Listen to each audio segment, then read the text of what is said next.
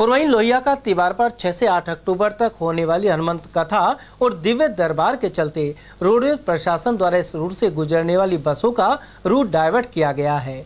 यातायात प्रबंधक लक्ष्मण सिंह ने बताया कि अलवर आगार से भरतपुर, आगरा और मथुरा के लिए जाने वाली रोडवेज़ बसें मालाखेड़ा, लक्ष्मणगढ़ एवं जालू की होते हुए जाएँगी। वहीं वापसी में भी यही रूट रहेगा। इसके अलावा अलवर से झिरका फिरोजपुर की ओर जाने वाली रोडवेज़ की बसें वाया चिकानी, रामगढ़ होते हुए चलेंगी। 8 अक्टूबर तक इन बसों का रूट डाइवर्ट रहेगा।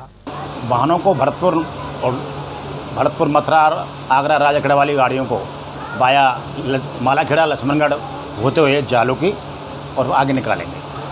वापसी में आने में भी ऐसा ही रूट रहेगा। जालू की जालू की से लक्ष्मणगढ़ मालाखेड़ा और अलवर ऐसे। और फिरोजपुर वाली बसों को फिरोजपुर वाले के लिए बाया चिकानी होते चिकानी रामगढ़ होके निकालेंगे या शीतल शीतल की शीतल जो के बाई बाई हाईवे होकर के फिरोजपुर उधर निकालेंगे कब से कब तक रहेगा ये ये छः से लेकर के आठ तक रहेगा जी भागेश्वर भागेश्वर धाम की वजह से ये रूट परिवर्तन किया गया है।